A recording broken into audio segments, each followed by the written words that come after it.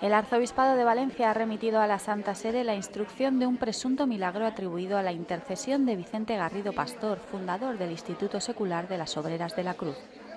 Se trata de la curación científicamente inexplicable de una mujer a la que en 2003 los médicos le dieron 10 meses de vida por un cáncer incurable. Tras numerosos controles y valoraciones médicas por parte de especialistas oncólogos de varios hospitales, en 2011 los últimos informes y pruebas realizadas constataron la remisión completa del tumor y la ausencia actual de la enfermedad. Transcurrido el periodo de estudio del presunto milagro en la fase diocesana, el arzobispo de Valencia, Monseñor Carlos Osoro, ha clausurado esta fase para que el tribunal creado ex profeso en Valencia, formado por sacerdotes, médicos y peritos en diversas materias, remita ahora la documentación a la Santa Sede para que continúe allí el proceso. Es una gracia la que estamos viviendo, es una tarea la que se nos está proponiendo y es una responsabilidad la que todos nosotros asumimos en estos momentos. La presencia en muchos lugares de la tierra de obreras de la cruz, junto con la familia más amplia, que es la que hoy también aquí en estos momentos está representada, ha sido una gracia para toda la Iglesia. El prelado destacó la labor de Vicente Garrido.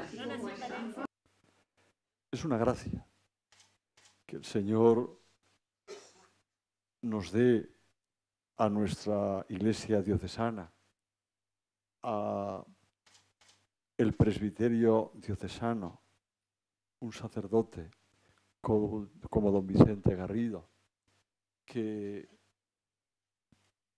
quiso el Señor hacerle protagonista también en esa intuición que Él entregó por la fuerza del Espíritu Santo para hacer posible que eh, hubiese unas mujeres laicas, consagradas y toda una familia que se estabilizase de alguna manera este instituto secular Obreras de la Cruz,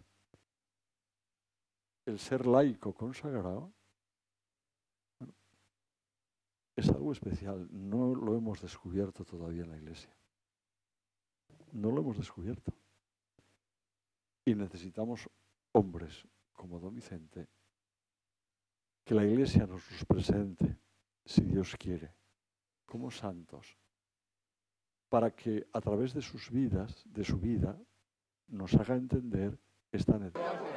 Una vez llegue a Roma, el caso será valorado por un Congreso de Médicos de la Congregación para la Causa de los Santos, posteriormente por una comisión de teólogos y finalmente por la de obispos y cardenales que remitirán y presentarán la documentación al Papa, quien promulgaría el decreto de milagro. Vicente Garrido Pastor nació en Benaguacil en 1896. Ordenado sacerdote en 1921, destacó por su actividad apostólica con la juventud femenina. En 1934 reunió en Burjasot a un grupo de mujeres para dirigirles en un retiro espiritual.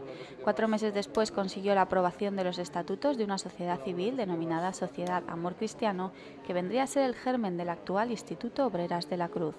Desde entonces trabajan en la promoción, formación y evangelización de las mujeres.